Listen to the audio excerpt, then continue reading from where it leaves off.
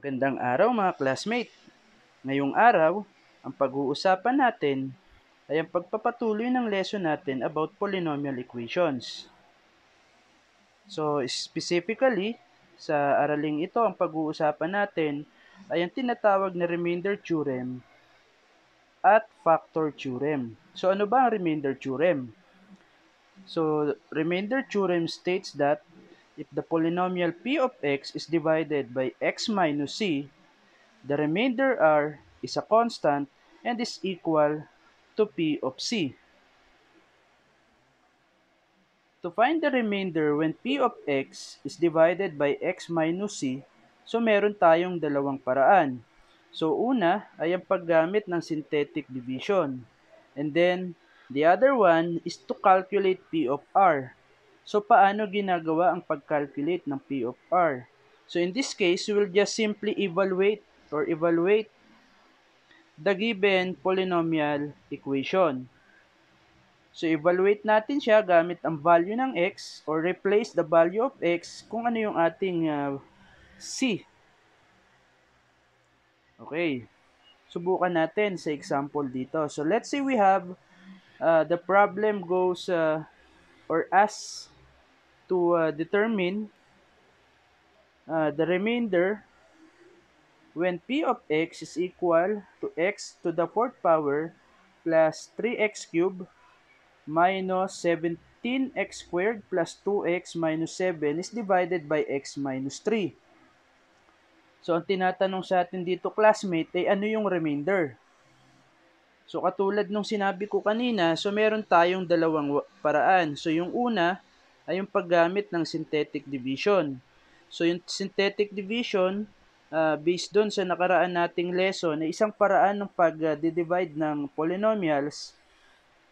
So para sa araling yon, so I will uh, put the uh, link in the description box para uh, masundan natin kung paano ba ginagawa yung synthetic division.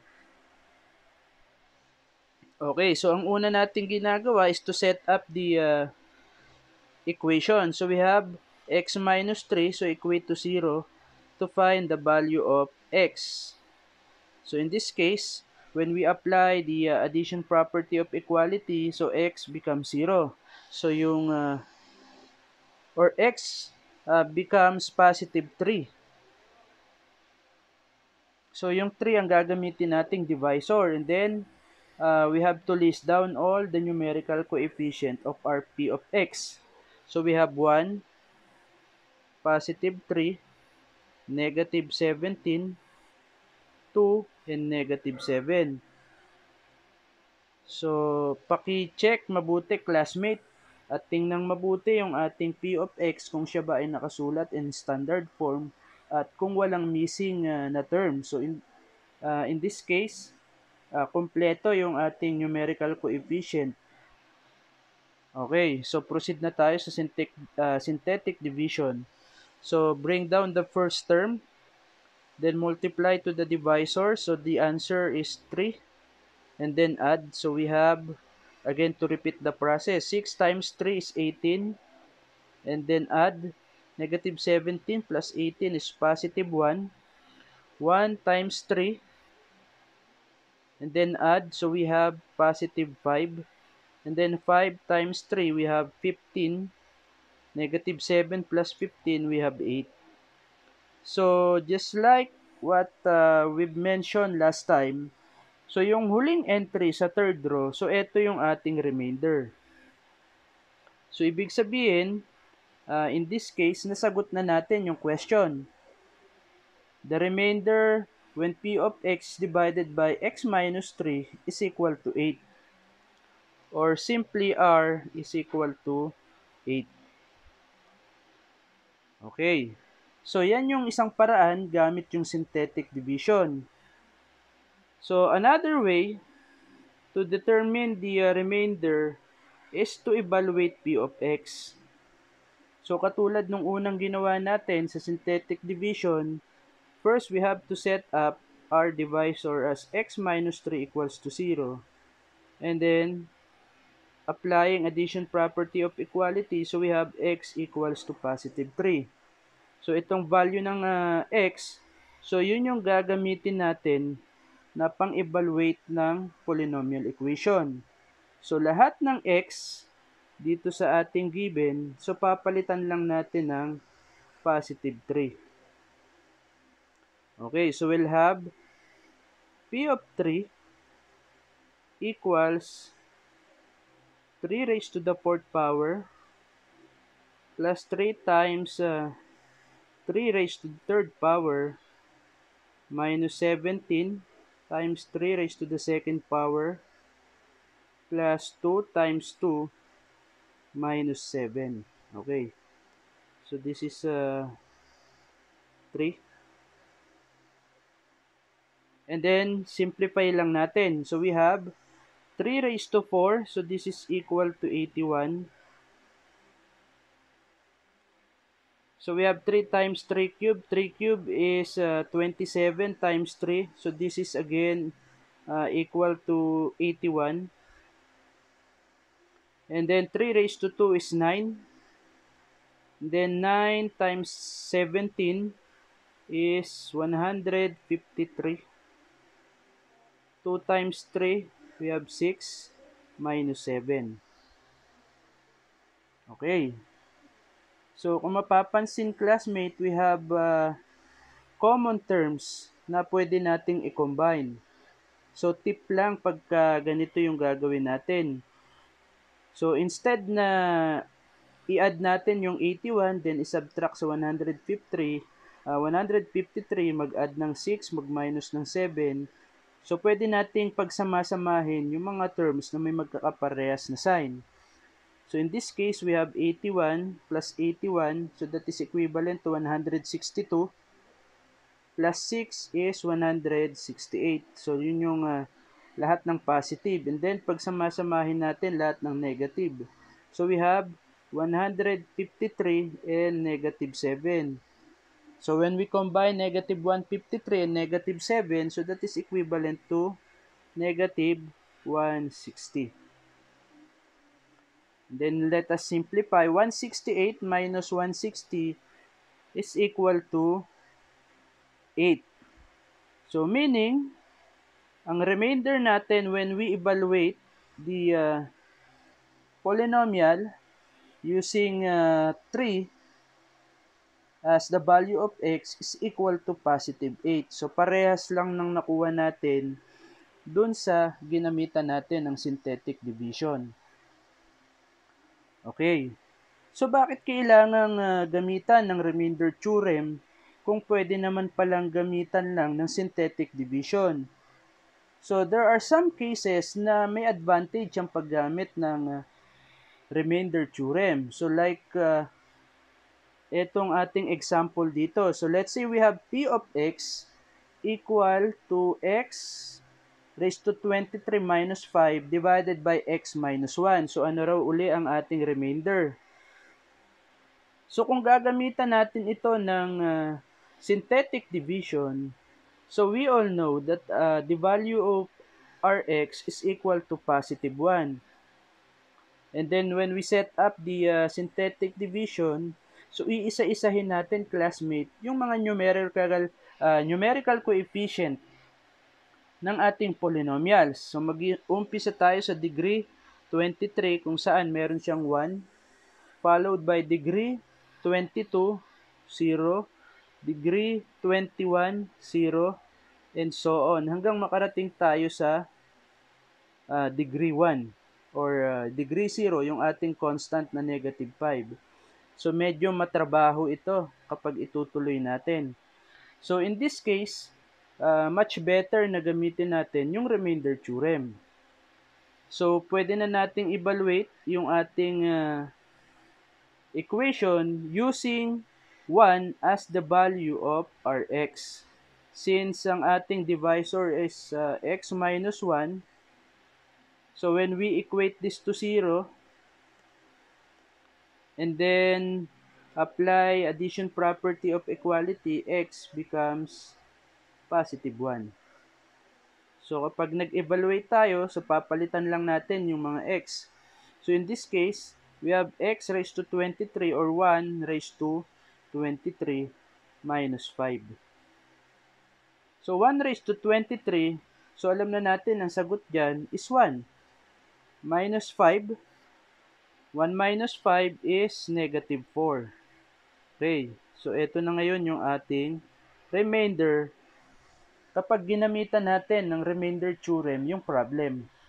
So, in this case, uh, much better na mas uh, gamitin natin yung remainder theorem instead na synthetic division. Okay. So another theorem na included in this lesson is what we called the factor theorem. So ano yung factor theorem? The polynomial p of x has x minus c as a factor if and only if p of c is equal to 0. So we have two statement as a proof. So number one, if x minus c is a factor of p of x, then p of c is equal to 0. Second uh, statement, if p of c is equal to 0, then x minus c is a factor of p of x. So meaning to say, in factor theorem, a divisor is said to be the factor or one of the factors of the polynomial kung ang kanyang remainder ay 0. So, ganun lang kasimple yung uh, ating factor theorem. So, kailan ginagamit o kailan pwedeng i-apply? So, let's say we have this kind of problem. So, find if x minus 2 is a factor of p of x which is given as x to the fourth minus 8x cubed plus 10x squared plus 2x plus 4. So, In this case, aalamin natin kung si x minus 2 ba ay factor nung ating given polynomial equation. So, kanina sabi natin sa factor theorem, so masasabi natin na ang divisor ay factor kung ang remainder niya, kung ating uh, remainder ay equal sa 0. Okay, so let us evaluate using the remainder theorem. So we have x minus 2 equals 0. So our x is positive 2.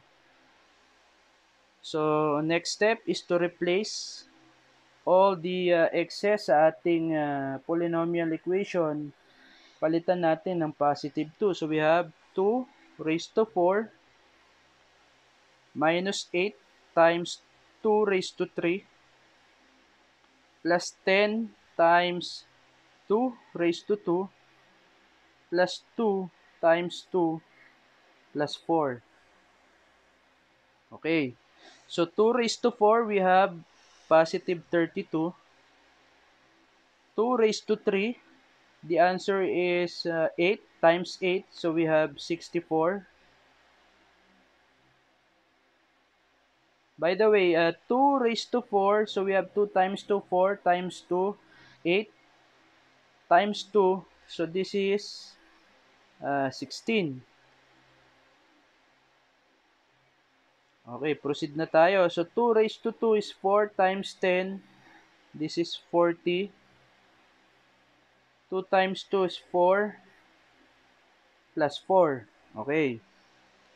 So simplify na natin. So katulad nung ginawa natin kanina, para mas madaling i-simplify, combine natin yung mga like terms. So we have 16 plus 40, we have 56 plus 4. We have 60 plus 4, 64. Minus 64, the answer is 0. So ang remainder natin is 0. Therefore, x minus 2 is said to be a factor or one of the factors of p of x o yung ating given na uh, polynomial equation.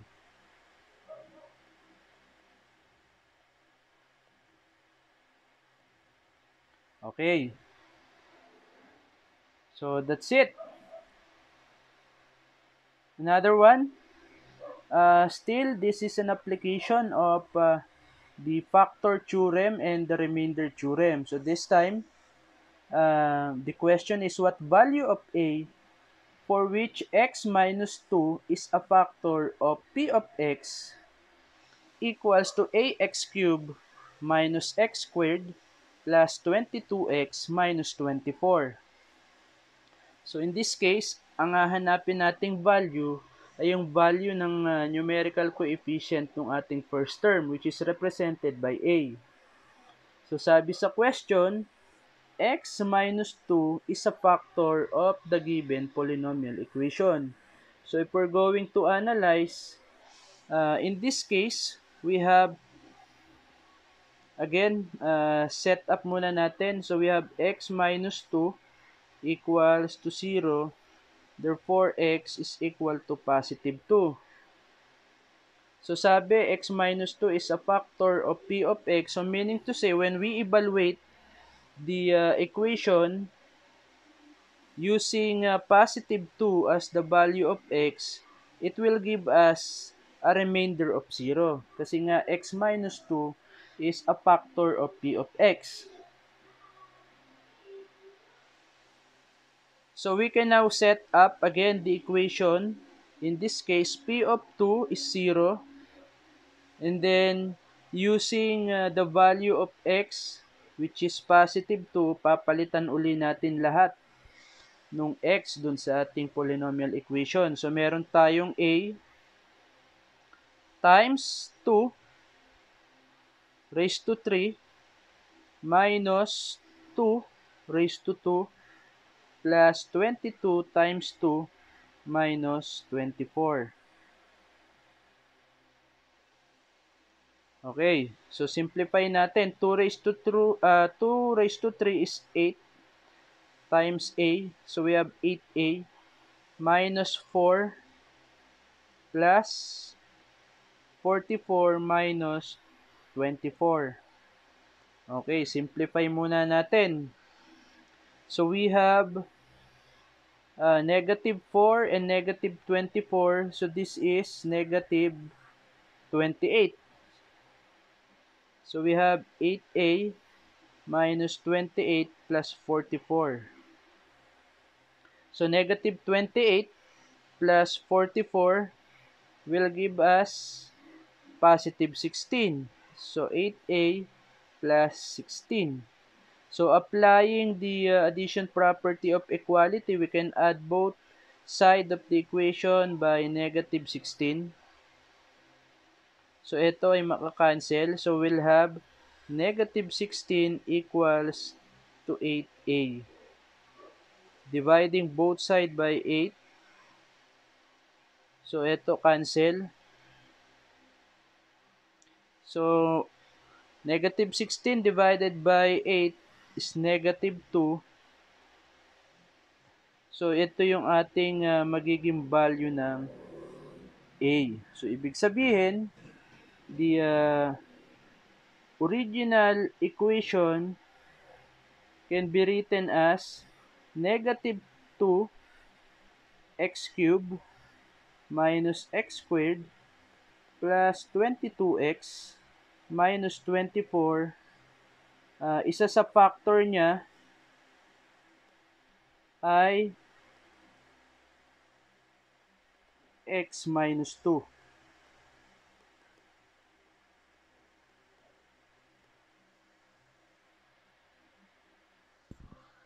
Okay. So that's it. So I hope ay meron kayong natutunan sa lesson natin para sa araw na ito. And make sure to share this video to other uh, to others, especially sa ating mga kaklase para mas marami pa tayong matulungang iba. Until next time.